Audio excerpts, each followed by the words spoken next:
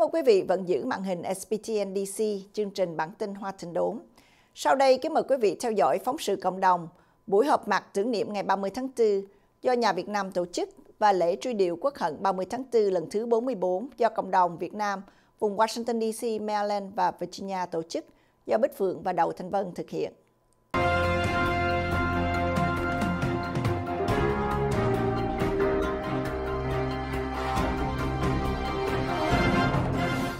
Phường Phượng Washington DC kính chào quý vị. Kính thưa quý vị, buổi lễ tưởng niệm quốc hận 30 tháng 4 lần thứ 44 đã được tổ chức vào ngày thứ Bảy, 27 tháng 4, 2019 tại nhà Việt Nam, thành phố Fortress, Virginia.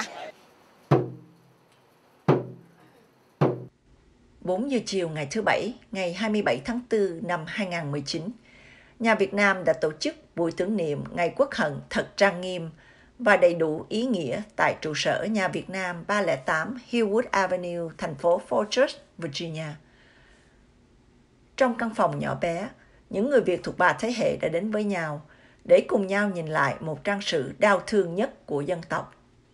Ngày 30 tháng 4 năm 1975, ngày mà Cộng sản Bắc Việt đã xua quân vào xâm chiếm miền Nam và từ đó toàn dân Việt Nam đã phải sống dưới chế độ Cộng sản, một chế độ bị mọi người trên thế giới coi như là quái thai của thời đại.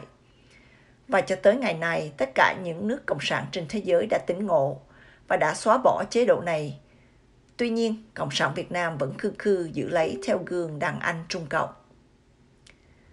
Chương trình được gói ghém trong vòng một tiếng rưỡi đồng hồ, nhưng khá đầy đủ. Với những nghi thức chào cờ Việt Mỹ phúc mặc niệm, đại diện ba thế hệ dân hương trước bàn thờ, đại diện thế hệ một rưỡi, kể và chia sẻ tâm tình về ngày 30 tháng 4 và thời gian sau đó.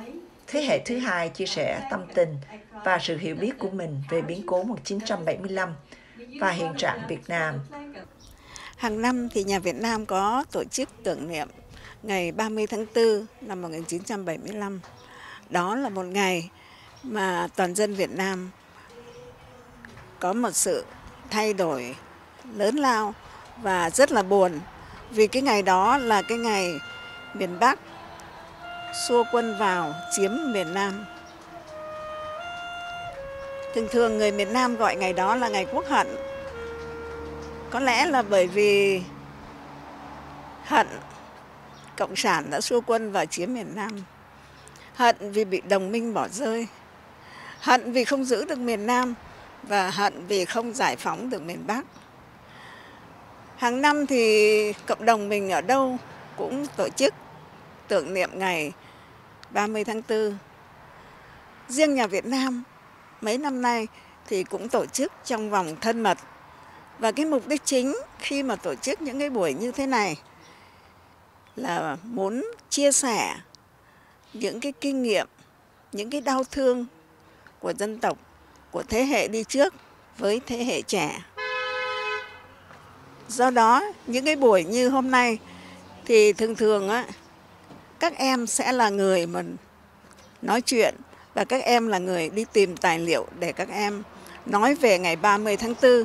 Mặc dù các em đa số là những em sinh đẻ ở Việt Nam nhưng mà sang đây khi rất còn nhỏ, chẳng hạn như năm 10 tuổi và cũng có những em 16 tuổi, 18 tuổi sinh đẻ ở đây nhưng mà ban tổ chức đã khơi cho các em cái khái niệm về ngày 30 tháng 4 để cho các em đi tìm hiểu và mình chia sẻ thêm với các em những điều các em cần biết về đất nước Việt Nam. Những hình ảnh kinh hoàng về cuộc chiến Việt Nam từ năm 1965 cho đến ngày 30 tháng 4 1975. Từng đoàn xe tăng quân xa chở đầy bộ đội, ầm ầm tiến vào Sài Gòn và cuộc sống như hỏa ngục sau đó. Với những cảnh đốt sách báo, những vùng kinh tế mới, những trại tù cải tạo, những cảnh bắt người xử án trên đường phố, những con tàu lên đên trên biển cả chở đầy những người Việt vượt biển tìm tự do. Đã được em Evelyn, 16 tuổi, và một vài em khác siêu tầm, treo đầy trên bốn vách tường. Hôm nay con uh, mặc ở Việt nhà Việt Nam tại vì con làm cái project của con, cái Go to World project của con và con uh, in ra cái pictures của nhà Việt uh, boat people and the history of boat people and to show the progression of how they got to America. I have learned from my parents about the boat people. They themselves are boat people, so I was very interested in the subject. Kính thưa quý vị, sau khi rời khỏi nhà Việt Nam, Bích Phượng đã có mặt tại kỳ đài trung tâm thương mại Eden, thành phố Fortress, Virginia để tham dự lễ truy điệu các vị anh hùng tử sĩ Việt Nam Cộng Hòa đã bị quốc vong thân vào lúc 8 giờ tối. Tại kỳ đài trung tâm thương mại Eden, thành phố Fortress, Virginia, đã có một buổi lễ truy điệu để tưởng niệm quân dân cán chính cảnh Việt Nam Cộng Hòa vị quốc vong thân. Thật xúc động và không khí thật thiêng liêng để kỷ niệm về biến cố tháng cư đeo 1975. Với sự hiện diện của các quý lãnh đạo tinh thần các tôn giáo, các bậc trưởng thượng, thân hào, nhân sĩ, Chủ tịch Cộng đồng Việt Nam vùng Washington DC, Maryland, Virginia, các hội trưởng, ban tổ chức Hội đoàn Người Việt Quốc gia, những người lính Việt Nam Cộng Hòa gồm có quân cán chính cảnh, các cơ quan truyền thông, báo chí và rất đông đồng hương đã đến tham dự trong một đêm thời tiết không lạnh, nhưng nỗi xa lạnh trong tim của mọi người vì đã 44 năm qua, quê hương thân yêu của chúng ta vẫn còn bị cai trị bởi bọn độc tài vô nhân Cộng sản Việt Nam. Đặc biệt trong buổi lễ truy điệu, để cùng dâng lên nén hương lòng, tưởng niệm anh linh chiến sĩ và đồng bào đã bị quốc vong thần, oan thác trong các ngục tù cộng sản, hay bỏ mình trên đường vượt biên vượt biển tìm tự do, đã nói lên được niềm cảm thông sâu xa đến những nỗi đau thương của quê hương sau tháng 4 1975. Hôm nay là một ngày rất là quan trọng cho Việt Nam Cộng Hòa mình tại vì là à, mình ghi nhớ cái ngày mà, mà 30 tháng 4 1975 đó à, thì mình phải à, tưởng niệm những người mà đã đã, à, đã hy sinh vì cái tự do à, cho Việt Nam mà cái quan trọng nhất là sau này cái thế hệ sau phải biết về uh, cái ngày 30 tháng 4 và để cho họ tiếp tục những cái lễ này. À, nếu không thì uh, cái cái uh, văn hóa Việt Nam mình những cái lịch sử Việt Nam mình sẽ mất. Để tưởng nhớ những người đã dị quốc dòng thân những người Việt Nam Cộng Hòa đã bỏ mình để à, dưới sông dưới biển cũng như trên mặt đất.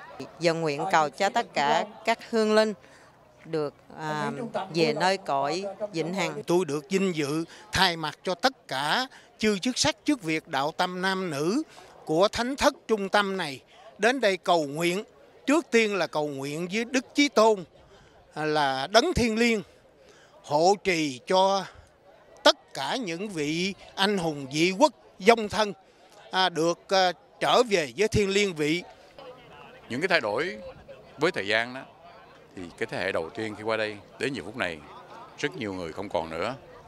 Và một điều tốt, một điều mừng, đó là thế hệ hậu duệ đã bắt đầu thay thế và nắm bước. Cũng như cộng đồng hiện bây giờ, cái người chủ tịch cộng đồng là thế hệ trẻ. Và trong cái sinh hoạt, chúng ta thấy hậu duệ Việt Nam Cộng Hòa là những cái người mà đang bắt đầu thay thế lần trong những các trách vụ cộng đồng. Đó là một cái điểm tốt mà chúng ta thấy chúng ta mong sao khi mà đất nước chúng ta lấy lại được thế hậu duệ này bắt tay với hậu duệ trong nước để mà tạo lên cho một đất nước hoàn toàn thay đổi. Bích Phượng tường trình từ lễ truy điệu Ngày Quốc hận 2019 tại thành phố Fortress, Virginia. Kính thưa quý vị, bản tin Hoa Trình Đúng tối nay đến đây là chấm dứt. Mọi liên lạc hay đóng góp ý kiến xin email về Washington DC at sptn.tv. Kính chúc quý vị có một buổi tối an vui và hạnh phúc bên người thân và gia đình. Bích Phượng xin chào tạm biệt và mong gặp lại quý vị vào kỳ tới.